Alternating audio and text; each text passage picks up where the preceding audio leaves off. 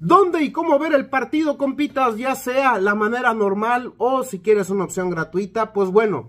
La opción gratuita, compas, cáiganle a mi Instagram, me encuentran como FútbolTuber, así como el nombre del canal, FútbolTuber, la cuenta verificada, pónganse truchas ahí, luego hay las fake, pero ahí me encuentran. Y en la historia de mi Instagram les dejé por donde ver el juego completamente gratis en vivo. Síganme ahí en Instagram porque luego siempre avisamos, no, pues ahora por esta cuenta, ahora por la otra.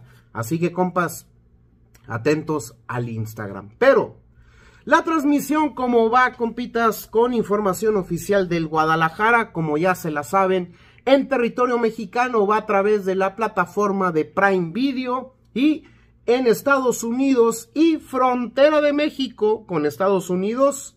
Ya se la saben, por ejemplo, la gente de Tijuana, ahí la gente de Sonora confirme, pero en Estados Unidos y la frontera con Estados Unidos de México, por Telemundo lo podrán ver sin ningún problema, compitas. Hace rato platicábamos con Villavilla el video sobre la previa y más, alineaciones, todo eso. Lo del récord, ¿no? Se ha venido manejando en los últimos días este tema del récord. Siete juegos sin recibir gol en el estadio Akron. Ahora van por el octavo. Pero hay un dato contundente de Iván Jacob a través de su cuenta de Twitter donde suele subir muchos datos estadísticos muy interesantes y el último dato es el que a mí me llamó la atención. En el histórico, pues, ahí lo ven, ¿no? La verdad es que yo me quiero enfocar en el último dato. De 58 partidos, solamente ha habido un 0-0. O sea, está contundente el tema de los goles.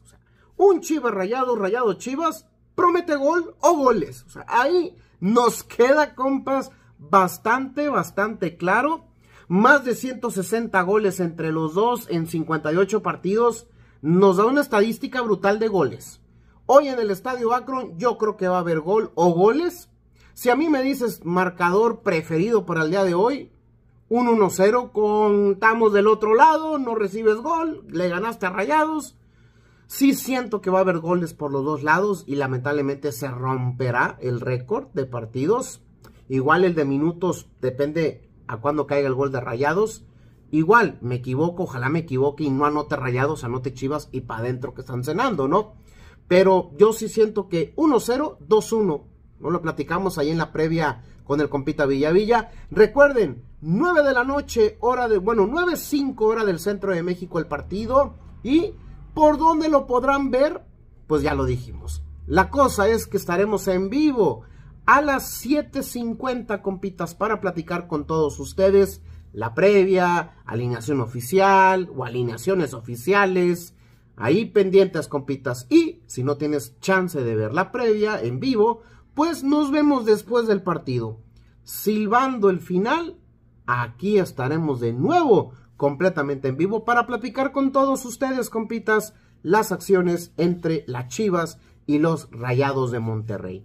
No olvides estar suscrito al canal, compas, ayuda muchísimo tu suscripción. No olviden dejar ese like, comentar su pronóstico, también muy interesante, y seguirme a través de las redes sociales, la que más usamos, Twitter, Instagram, se vendrá Facebook con Tokio Compas, así que Ahí donde gusten, en todas mis redes sociales me encuentran como Fútbol Tuber.